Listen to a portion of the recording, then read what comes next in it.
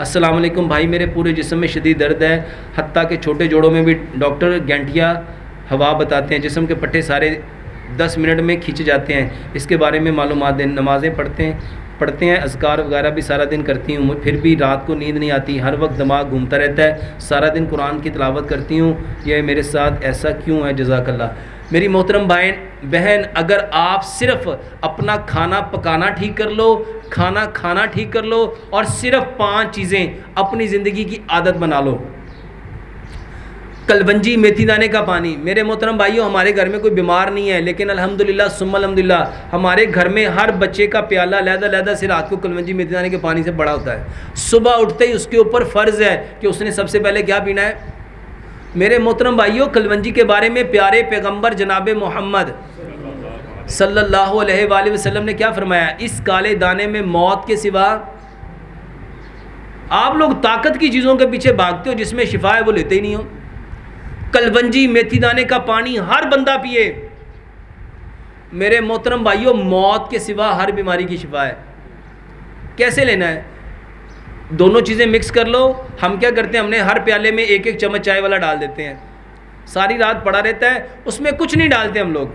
सुबह उठ के उसको छानते हैं, जिसने गुड़ डालना है वो गुड़ डालेगा, जिसने शहद डालना है वो शहद डालेगा, जिसने मिश्री से खाना वो मिश्री से खाएगा।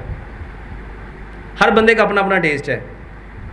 मेरे मोहतरम भाइयों, अपने बच्चों को कलवंजी मेथी दाने की आदत डालो। अदरक, लहसन, पुदीने, नार, और मेरे अबू पता क्या करते हैं? जब सारे पी लेते हैं ना, वो जो कलमंजी मेथी दाना लहदा होता है, उसके ऊपर वो शहद डालते हैं और पूरी प्लेट चम्मच के साथ खाते हैं। उनको सारी ज़िंदगी जोड़ों का मसला रहा। वल्लाह, वो कहते हैं, बेटा, जब से ये खाना शुरू किया ना, मुझे ऐसे लग रहा है दोबारा से ताकत आनी शुरू हो गई है। मेरे मोहतरम भाइयों, ये वो चीज़ें हैं जो अल्लाह ने अपने नबी जनाब मोहम्मद सल्लल्लाहु अलैहि वसल्लम के ज़रिए बताई। दूसरे नंबर पे, अदरक, लहसन, पुदीने, नारदाने की चटनी, अपने घर की जीनत बनाओ। वल्ला हमारे घर में मेहमान आते हो, कहते चटनी नाल पहले लेके आओ। ये चटनी आपके घर की जीनत, हर खाने के साथ एक चम्मच। और जौ का दलिया, क्या फरमाया प्यारे पैगंबर जनाब मोहम्मद सल्लल्लाहु अलैहि वसल्लम, ये गम को दूर करता है। जौ का दलिया क्या करता है? गम को दूर। और आज हर बंदा क्या है? गम लगा हुआ है। किस चीज़ का? मेरे से ये नहीं हुआ, मेरे से ये नहीं हुआ, मेरे से ये नहीं हुआ, मेरे से ये नहीं हुआ। और मेरे मोहतरम भाइयों, हज़रत आयशा सदीक़ा रज़ी अल्लाह फरमाती हमारे यहाँ जब कोई बीमार हो जाता था, तलबीना चूल्हों पे चढ़ जाता था। और अल्हम्दुलिल्लाह, हमारे घर नाश्ते के बाद ये लाजमी खाया जाता है। सिर्फ़ इसलिए कि ये नबी का हुक्म है। चौथे नंबर पे, मेरे मोहतरम भाइयों, दस फल, दस सब्ज़ियाँ, दस ड्राई फ्रूट मिक्स कर लो।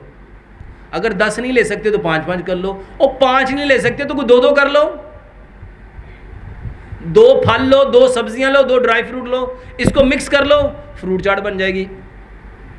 एक चम्मच को बत्तीस दफ़ा चबा के खाओ। यहाँ लोग बड़े फ़ख्र से बताते हैं, डॉक्टर साहब, दस गोलियाँ सवेरे खाई दी दस दोपहरी, दस शामी। कभी ज़िंदगी में दस फल इकट्ठे खाए हैं?